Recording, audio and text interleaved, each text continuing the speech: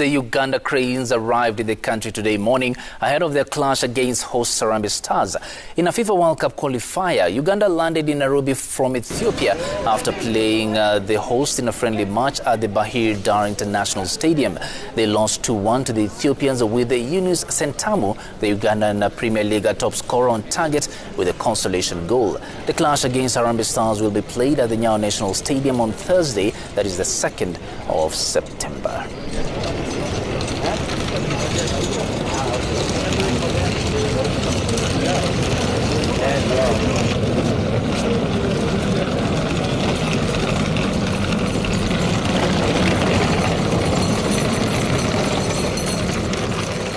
You are in full competitiveness while we are having certain problems because of our league being in recess and in off season. But no matter of that, we are representing Uganda, we are representing Kenya. It will be uh, a match where small details will decide. We shall do everything that those details go our way. Of course, we respect Kenya as a team and uh, we respect Kenya also as a nation.